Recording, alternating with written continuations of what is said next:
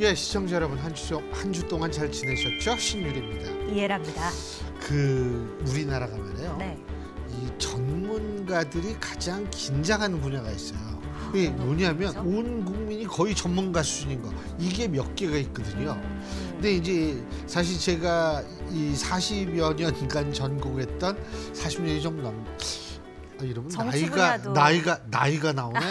근데 어쨌든 40년이 좀 넘게 전공했던 정치 분야가 그렇고요. 이제 또 다른 분야가 바로 교육 관련 네, 분야입니다. 근데 맞습니다. 의견이 많다라는 거는 좋은데 문제는 의견이 많은 만큼 또 첨예한 대립 음. 한쪽으로만 치우칠 수도 없고 이 일에서 아주 교육 행정이라는 게 아주 이게 정말 줄타기 이게 고도의 정말 정치력이 없으면 안 된 일이거든요. 근데 그거를 그거를 10년 동안이나 하신 분이 계십니다. 네. 예. 오늘 만나볼 분을 위해서 이렇게 교수님이 설명을 해주셨습니다. 그래서 오늘 이 시점에 지난 아, 10년 동안의 서울 교육, 우리 교육을 되돌아보고요. 또 앞으로 이 시점에서 어떠한 미래를 헤쳐나가면 좋을지 그런 얘기 오늘 나눠보도록 하겠습니다. 조희연 서울시 교육검과 함께하도록 아, 예. 하겠습니다. 안녕하세요. 안녕하십니까? 안녕하세요.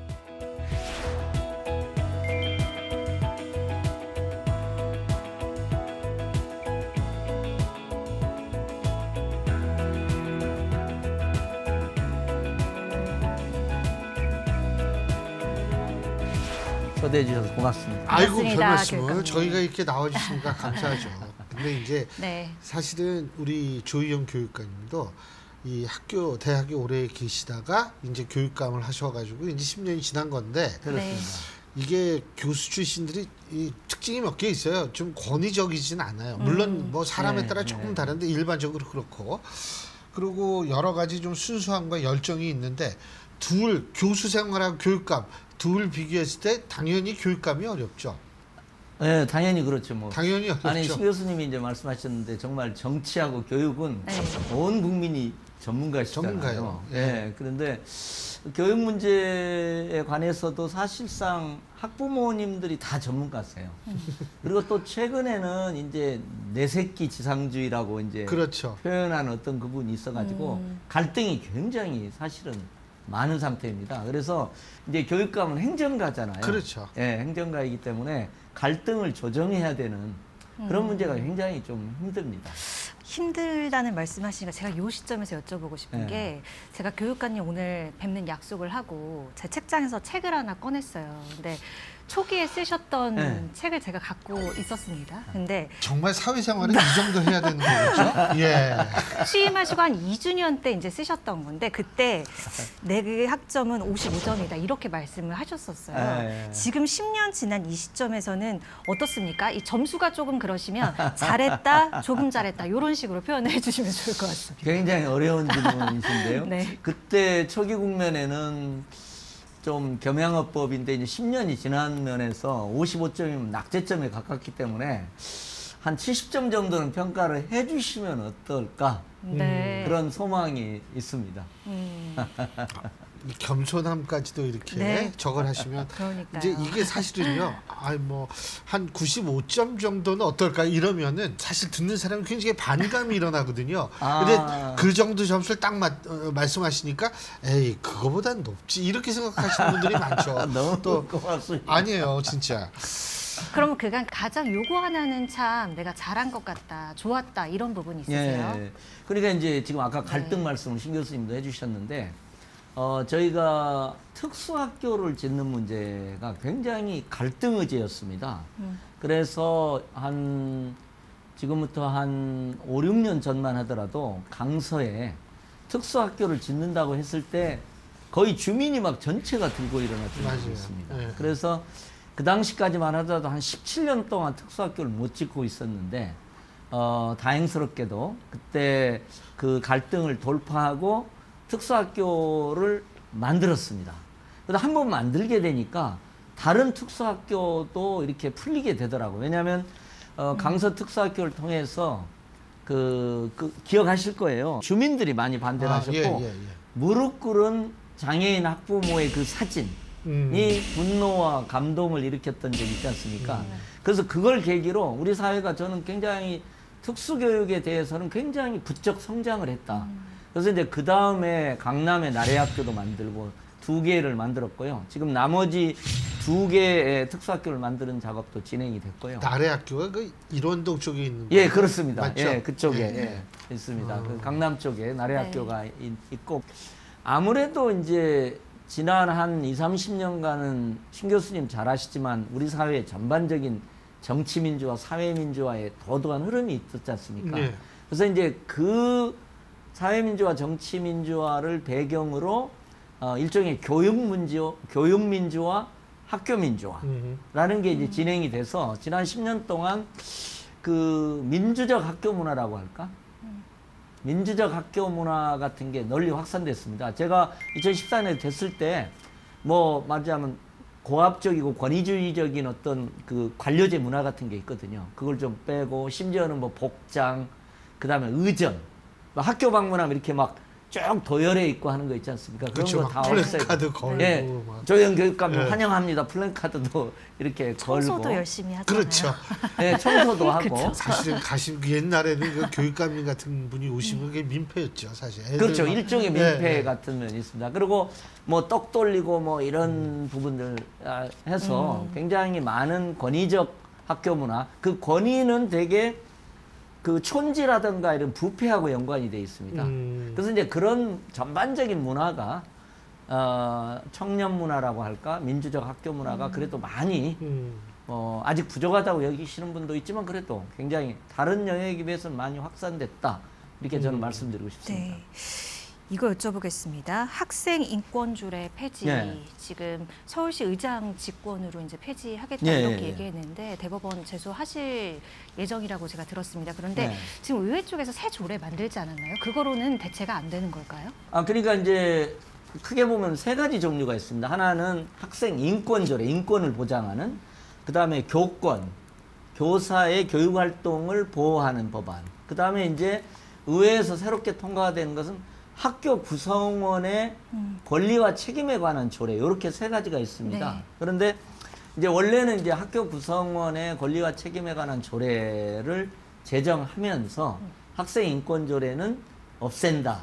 이런 입장을 이제 서울시에 이제 주로 이제 국민의 의원님들이 다수여서 그쪽이 이제 갖고 있습니다. 근데 저희들은 이제 그거에 좀 단호하게 반대하는 입장이었습니다. 그러니까 왜냐하면은 어, 우리가 민주화의 전체적인 과정을 놓고 보면 어, 학생들이 과거에는 우리 사회도 마찬가지예요. 대통령 입장에서 보면 백성이었잖아요, 국민들이. 그러나 지금은 주인이단 말이에요. 그런 것처럼 학생들을 훈육의 대상이 아니라 당당한 권리의 주체로 교복입인 시민으로 대우하자. 요게 이제 학생인권 조례의 정신이고 그래서 굉장히 포괄적인 유엔 거의 뭐 권리협약에 나오는 거의 모든 어, 권리 규정이 다 들어가 있고 권리 장전입니다. 이런데 이제 지금 구성원 조례에서는 그냥 조금 이렇게 언급만 하는 정도가 돼 있고 주로 이제 교사, 학생, 학부모의 갈등을 어떻게 처리할까, 갈등 조정위원회를 어떻게 가동할까 하는 점이 많이 있어서 그게 주안점이어서 저희들은 부족하다. 오히려 같이 가자. 교권 보호 조례도 있고 학생 인권 조례도 전체하고 구성원 간의 에, 권리와 책임에 관한 포괄적 규정에 기초한 갈등 조정 조례 오케이 그렇게 되는데 이제 또 부득불 폐지하신다고 그래서 저희가 대법원에 지금 이번 주에 곧 제소를 하려고 그럽니다. 근데 그 사실 이 학생 인권 조례 문제가 불거지게 된 계, 계기라는 거는 예. 그 서초 초등학교 선생님께서 정말 극단적인 선택을 하셨고 예. 극단적인 행위를 하셨고 이것이 이런 것들이 이제 계기가 돼서 네. 선생님들이 우리의 권리도 중요하다라고 이제 들고 일어나. 제가 그때 보니까 조희연 교육감님께서도 예, 예, 거기 그 장례 이 문상도 가시고 다 하신 걸 그렇습니다. 제가 봤는데 물론 당연히 그런데 그것 때문에 나타난 이 시작이 된 건데 그렇습니다. 아직까지 한국교총 같은 경우에는 입장이 좀 다른 것 같아요. 학생 인권은 존중돼야 하지만 권리 부여에 따른 의무와 책임의 균형 부분이 이루어지지 못했다. 어, 이 이게 이제 아, 사실은 예, 예, 예. 학습권과 교권이 보호받지 못하는 문제점이 많이 지적됐다. 이런 그렇습니다. 입장이거든요. 예, 예. 저는 그것은 어, 좀 반성적인 입장에서 그걸 수용하는 입장입니다. 그래서 저희가 학생 인권조례 개정안도 냈습니다. 그래서 그 개정안에는 지금 딱 말씀하신 권리뿐만 아니라 교사의 교육 활동에 승복할 거라든지 또 타인의 학교 내에서의 권리를 침해하는 뭐 흉기를 가진다든지 뭐 이런 등등 그 다음에 정당한 어떤 학생 생활을 어, 질서 있는 학교 생활을 저해하는 그런 부분에 대한 어떤 책임 있는 시민으로서의 에, 그 어떤 뭐라 그럴까 태도 같은 게 필요하지 않습니까? 그래서 그걸 규정한 개정한 조례도 저희가 이제 발의를 한 바가 있습니다. 언제였죠? 발의하신 예, 그건 작년에 이제 발의를 했고 그런데 이제. 어, 의회의 입장은 저희는 반대하는 입장, 부득불 학생 인권 조례는 폐지하고 구성원 조례로 해소하자 이런 입장인데 저는 학생 인권 조례는 지난 2, 30년간의 우리 사회의 인권 발전의 어떤 상징이고 어, 이런 것들이기 때문에 이걸 없애지 말고 그래서 이제 제가 신 교수님은 이제 더 우리 사회 정치 발전이나 사회 발전에 대해서 이제 연구를 하셔왔는데 저는 이제 이런 입장입니다. 우리 사회가 과거로 돌아가지 않고 민주화 시기를 겪으면서 사람들과 국민들, 학생들을 권리의 주체로 존중했는데 거기서 수반되는 새로운 극단적인 문제도 발생할 수 있거든요. 근데 그걸 과거로 돌아가지 않고 미래지향적으로 어떻게 풀어낼 것이냐. 지금도 그러지 않습니까? 우리 정치 영역에서 권리와 권리의 충돌도 있고 저는 그걸 민주화의 그늘이라고 표현합니다. 저는 뭐 민주화에 적극적으로 참여했던 입장에서 민주화의 그늘, 그늘도 인정하면서 어, 말하자면 뭐 새로운 학교를 교권도 존중하고 학생 인권도 존중하고 구성원 간의 어떤 협력적, 평화적 관계를 새롭게 증진하는 그런 노력이 새로 필요하다. 과거로 돌아가서는 안 된다. 그러면서 제가 마지막으로 예. 화두를 어, 민주적 학교에서 우리가 이제 권위주의적 학교 뭐 아까 말씀드린 대로 교육감이 방문한 바닥 청소하던 권위주의적인 학교에서 민주적 학교를 만들어 왔는데 예. 네. 민주적 학교에 그늘도 있는 거죠. 자, 여기서 어떻게 할 거냐? 과거로 돌아갈 거냐? 미래로 갈 거냐? 미래로 가면서 공동체형 학교를 만들어야 된다. 공동체형 사회를 만들어야 된다. 이렇게 주장을 하고 있습니다. 제가 한 가지 생각이 난 건데 지금 그러면 교육감 의견대로 학생 인권 조례를 그대로 유지하는 대신 예.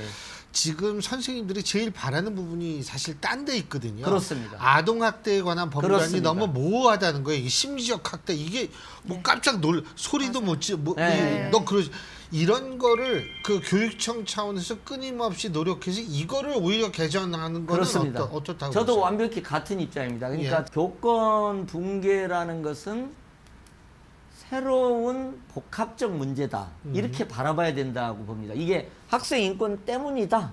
그럼 음. 학생 인권 조례가 없어지면 교권이 회복될 것 같지만 그건 아니지 않습니까? 예. 이건 새로운 복합적 문제다. 아하. 그래서 이 복합적 문제를 그에 맞는 솔루션을 찾아가야 된다. 예. 이런 입장이고 그 점에서는 이제 여러 작년에 서희초 사건 이후에 어, 법적 보완이 이루어졌습니다. 교원 지휘법도 보완이 됐고 그런데 이제 교권 5법의 보완이 이루어졌는데 이제 신 교수님이 말씀하신 그 점이 지금 안 됐습니다. 아동 학대. 아동 아동학대 학대 처벌법. 처벌법상에 네. 말하자면 심리적 정서적 학대 특별히 그렇죠. 이제 정서적 학대 부분이 무한대로 확장해서 교권을 선생님들을 괴롭힐 수 있는 그 어떤 음. 공백 지점이 좀 예. 있습니다. 그래서 어, 이게 이제 기본적으로는 가정 폭력이거든요. 가정에서의 아동 학대를 제한하기 위해서 만들어진 법인데 예. 이걸 다른 학교 현장에 적용하다 보니까 그걸 악용하는 분이 있는 거예요. 그러니까 선생님들을 적절한 질책을 했는데 선생님이 혹시 조금 거기에 화를 냈다? 그런데 이제 그걸 정서적 학대로 걸어버리는 거죠. 그래서 이제 지금 학교의 아동학대법상의 네. 정서적 학대 조항을 적용하려면 단서 조항을 많이 둬야 될 것 같아요. 말하자면 쉽게 선생님들의 훈육 활동이라든가 교육 활동을 정서적 학대로 고소할 수 없도록 하는 단서 조항, 제한 조항을 두는 방식으로 법 개정에 저도 열심히 나서려고 생각하고 있습니다. 네. 그럼 2033년 대입 네. 대비 많은 내용들 좀 우리가 바꿔보자 이렇게 말씀하신 걸로 네, 알고 네. 있어요. 소개 좀 해주세요. 아, 예, 예, 예. 그러니까 뭐냐면 이제 지금 대입제도 개선이 2028년 대입제도까지는 지금부터 어, 4년 후에 대입제도까지 지금 결정이 됐어요. 예. 근데 이제 그걸 국가교육위원회에서 결정하는데 제가 그 위원이었습니다. 음. 근데 제가 자 한번 생각해 보십시오. 지금 AI 시대에 모든 교육 전문가들이 이렇게 암기식 지식 교육을 계속해서 되겠냐? 사지선다형, 오지선다형을 하면 되겠냐? 그 말씀을 많이 하거든요. 아이들의 창의적 사고를 북돋우는 평가를 도입해야 된다. 그런데 그 국가교육위원회 논의를 하다 보니까 시기상조다.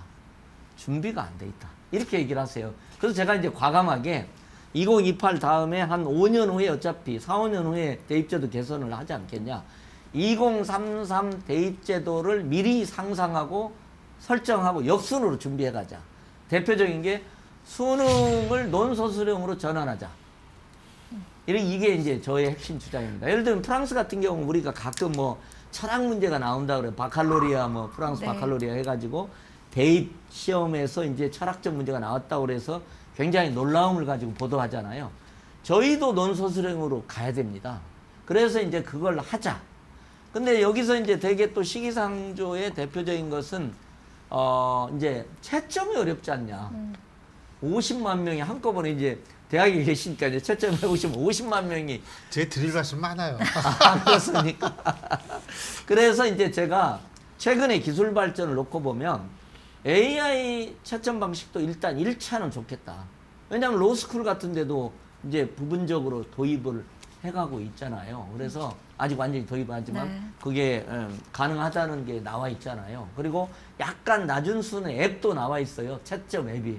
음. 그래서 자 AI 기반 논소수령 평가 시스템을 1차 도입하고 그 다음에 뭐 선생님, 교수가 이렇게 같이 채점해서 2차, 3차로 할 수 있지 않겠냐. 그래서 물론 이게 어, 대입 입시 지옥을 없앤다든지 사교육을 전면적으로 없애는데 어, 어떤 효과를 낼지는 아직 미지수예요. 그러나 이왕의 현재 입시 경쟁 구조가 있는 반면에는 AI 시대에 맞는 식의 시험 방식, 평가 방식이 낫지 않겠냐. 왜냐하면 암기식, 사지선다, 오지선다 형은 이미 어, 과거 퇴물이 됐기 때문에 말입니다. 그런 주장입니다. 근데 이제 네네. 사실은 어 독일도 이제 아비투어라 그래가지고 예, 아비투어가 입시가 있죠. 있는데 예. 거기도 물론 이제 서술형이 많죠. 예. 근데 이제 우리나라 이제 그 정도까지는 아닐 거예요. 뭐 우리가 살면서 가장 어려웠던 순간이 뭔지 서술하라면 이 정답이 없잖아요. 그렇습니다. 근데 제가 이제 말씀드리고 싶은 거는 지금 이 대입 경쟁이 제일 치열한 나라가 일본, 우리나라, 중국, 대만 정도인데 요 네 나라의 공통적인 특징이 유교 문화권이라는 거거든요. 아, 예, 예. 근데 유교 문화권에서 그럼 왜 대입 제도가 대입이 이렇게 치열하냐? 음. 저는 사회 자본과 관련이 있다고 보거든요. 그렇습니다. 사회 자본의 가장 중요한 사회적 신뢰, 사회 자본을 구성하는 요소 중에 사회적 신뢰가 충분하지 않으니까 그렇습니다. 이게 승복 문화가 생기지 않는 거예요. 그렇습니다. 그러니까 이게 승복을 하려면 쉽게 얘기하면 덜 골치 아파하게 하려면 사지선다형이 딱 이게 정답 나오는 게 중요하거든요. 그래서 사실은 사지선다형을 하는데 만약 그게 논서술형으로 하면은 아니 그 저 요번에도 기말고사 보고서 아니 기, 기말 시험 끝나고 학점 줄 때 아 교수님 뭐쭉 쓰나. 제가 어디 어디 어디가 문제가 돼서 왜 이 점수가 나왔는지 설명해 달라. 그거를 지금 우리 학생들한테는 설명이 가능한데 50만 정도 되는 학생들 중에 몇만 명이 하면 야 그거 쉽지 그러니까 아니 않거든요. 정확히 신 교수님이 그 핵심 지금 쟁점이 예. 그게 실제 강남이나 예. 굉장히 치열한 입시 경쟁을 하는 데서는 지금도 문제가 있습니다. 선생님들이 일부러 사지선다형을 내요. 예 왜냐하면 피하기 위해서죠. 예, 피하시기도 민원을 피하기 예. 위해서. 그런데 언제까지 이럴 것이냐? 그러면 그 다음에 이제 말씀하신 대로 논서 수령으로 한다는 얘기는 모든 문제를 논서 수령으로 할 필요는 없는 거죠. 음. 예를 들면 중간고사나 기말고사 같은 경우에 있어서 논서 수령을 하더라도 사지선다 오지선다가 필요한 게 있는 거거든요. 그러니까 이제 단지 큰 기조가 지금도 저희가요, 음, 과정평가, 그러니까 기말고사의 문제 시험으로 평가하는 방식이 아니라 과정평가, 수행평가라고 그러거든요. 그걸 40% 이상, 논서 수령을 20% 이상으로 지금 권장하고 있습니다. 근데 의무사항이 아니기 때문에 그게 이제 확산이 안 되고 있는데 저는 이제 예를 들면 AI 1차 채점, 그 다음에 2차 교사 채점, 3차 교수 채점. 그러면 저는 어, 평가의 신뢰성은 확보될 수 있을 거다.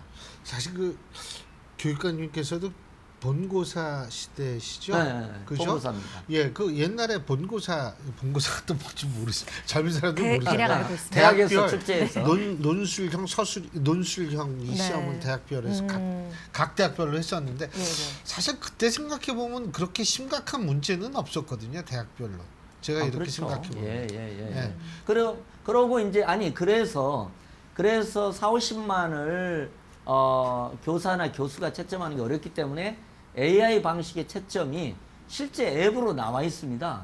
그래서 지금 일부 논서 수령 평가를 확대하기 위해서 학생 1인당 한 달에 4불씩을 주더라고요. 음, 그래서 이제 그러면 한 달에 어 1년이면 한 오- 50불 되니까 한 5만 원 된다고 쳤을 때 근데 이제 비용이 꽤 되는 거죠. 그러나 어쨌든 초기 확산 과정에서 하면서 충분히 예를 들면 로스쿨을 AI가 해서 무사 통과하는 그런 상황이기 때문에 더구나 AI는 기계학습을 하잖아요. 50만 명씩 기계학습 데이터를 데이터를 기계학습하면요. 2, 3년만 하면 저는 상당히 높은 수준에 가기 그럴 수 때문에 있겠죠. 예. 학습능력이 뛰어나니까. 조금 어 그리고 이제 또 하나 방식은 이런 방식도 있습니다. 그러니까 말하자면 수능을 2단계로 해서 1단계는 어 이 객관식으로 하고 2단계를 논서 수령으로 해서 대학이 평가 자료를 두 가지로 활용하는 방법도 있고요. 음, 음. 그러면 이제 어 2단계를 어, 안 보는 학생도 있는 거고요. 지금은 일률적으로 전체를 다 보는 상황입니다. 그래서 어, 논서 수령으로 하더라도 그것이 결합되는 방식은 여러 제도 설계가 가능하다. 근데 단지 또 4, 5년 지나면 시기상조가 되잖아요. 준비가 안 됐고 우리 어, 입시 경쟁은 치열하고 그럼 이제 언제까지 이렇게 할 거냐? 저는 이제 그런 주장입니다. 네. 지난 지방선거 네. 치르시고 나서 아무래도 이제 의회가 국민의힘 의회 의원들로 네. 구성이 되다 보니까 좀 임기 동안 어려우셨던 부분이 있다고 들었어요. 예, 어떤 예, 게 예. 가장 그러셨습니까? 그러니까 이제 사실은 교육에는 좀 정치 논리가 개입하지 않았으면 하고 또 지금 우리 사회 정치나 사회에서 치열한 적대적 진영 논리 같은 게 있잖아요. 그런 게 이제 교육을 접근할 때는 그러지 않았으면 하는 사실은 소망이 있는데 네. 어, 지난번 이제 지방자치 선거를 끝나고 나서는 어, 초기 이제 과정이었기 때문에 저는 뭐 그렇다고도 생각을 합니다만은 중요한 교육 예산들을 거의 막 그 조형 교육감이 하는 건 어, 문제가 있을 거야. 약간의 이런 논리 하에서 많이 삭감을 했었죠. 그래서 학교에서 굉장히 소중하게 생각하는 예산들. 사실은 이제 전자칠판 같은 것도 그때 저희가 당시에는 예산이 좀 풍부했던 시기입니다. 그래서 이 스마트 기기하고 전자칠판을 연결하면 굉장히 효과가 크거든요. 그래서 1,500을 편성을 했었어요. 근데 이제 어, 그것도 일괄 삭감을 했는데 그동안 한 2년 지나면서 교육제도가 굉장히 또 어려워졌어요. 그러니까 이제 할래도 어려운 어떤 상황에 와 있어서 그런 면이 있고 또 생태 전환 교육 조례 같은 것도 폐례는 기후위기 시대에 과거에 뭐 환경 교육 조례라든가 뭐 생태 환경 조례를 넘어서 지금은 기후위기 시대는 뭔가 전환적 접근이 필요하잖아. 생활 양식도 바뀌어야 되고 산업 구조도 탈탄소형으로 전환적 노력이 필요한데 이제 그런 부분의 관점에서 생태 전환 교육 조례로 적극적인 조례가 있었는데 그것도 이제 조금 폐지했는데 이 자체가 나쁘기보다는 이제 어떻게 우리 사회에 만연한 어떤 그런 진영 논리가 있었기 때문이 아닌가 싶고요. 물론 뭐 저도 좀 반성적으로 볼 때도 있습니다만은 좀 그걸 넘는 그래서 저는 신 교수님 제가 요즘은요 어 10년 동안 행정을 하다 보니까 공존의 교육, 공존의 사회를 주장하고 있습니다. 그러면은 우리 아이들이 공존을 어떻게 할까 해서 제가 심지어는 우리의 전통에서 아까 동아시아 문화 얘기를 했습니다마는 어, 역지사지라는 그 통찰을 좀 끌어와서 역지사지 공존형 토론 수업 음. 이걸 지금 굉장히 강력하고 있습니다. 그래서 반대 입장에 자신을 놓아보고 반대 입장에서 그 주제를 토론해보는 그런 역지사지 공존형 토론 수업 같은 것도 어, 정말로 우리 미래 세대는 지금 정치나 경제처럼 아니 지금 정치나 우리 사회처럼 막 적대적 진영으로 나눠서 싸우지는 말아야 되지 않겠습니까? 그래서 좀 미래 세대 교육 방법은 그렇게 노력을 하고 있습니다. 제가 좀 잘하고 있지 아, 예, 않습니까? 그럼요, 그럼요. 그게요. 지금 아주 핵심을 찔러 주신 건데 역지사지가 안 되면은요. 이게 또 다른 버전으로 내로남불이 되거든요. 그렇습니다. 내로남불이 되면 이게 사람의 감정을 긁습니다. 이렇게 되면 극단적으로 싸움이 치달을 가능성이 있어요. 저는 아주 그 역지사지를 한다는 게 예, 예. 제일 중요한 키워드 중에 신 하나인 것 같아요. 교수님은 이제 정치 쪽을 잘하신가 예, 예. 그런데 사실은 민주화가 안착기에 들어가면 헌팅턴도 이제 two turn 예, over 예. 이런 얘기 하잖아요. 그러니까 two turn은 정권 교체가 이렇게 두세 번 바뀌어야 된다는 얘기예요. 그러니까 대한민국의 정권 교체가 이렇게 되다 보니까 자연스럽게 야당 있을 때 접근법과 기준과 여당 있을 때 접근법과 기준이 달라지게 되는 거예요. 그러다 보니까 내로남불이 되는 겁니다. 그러니까 내로남불을 넘어서려면 좀 반성적 노력이 필요한 거죠. 거기에 저는 역지사지라고 생각을 합니다. 예, 지금 지금 아니요. 그러니까 이게 교육에서 가장 핵심을 지금 음, 말씀을 해주셨는데 어쨌든 지나간 10년이 앞으로의 10년을 굉장히 빛나게 만드는 그런 어떤 바- 뒷받침이 됐으면 좋겠습니다. 예, 노력하겠습니다. 예, 오늘 말씀 잘 들었습니다. 예, 고맙습니다. 고맙습니다. 고맙습니다. 예, 어, 교육 얘기를 하다 보니까 가장 중요한 거 정말 역지사지 하는 교육. 교육에 의해서 자꾸 이루어질 수 있는 건데 그 부분 제일 중요한 것 같습니다. 우리는 역지사지를 잘 하고 있는 걸까요? 네, 한 번쯤 떠올려 보면 좋을 것 같습니다. 저희는 다음 시간에 인사드릴게요. 함께 해 주신 여러분 고맙습니다. 고맙습니다.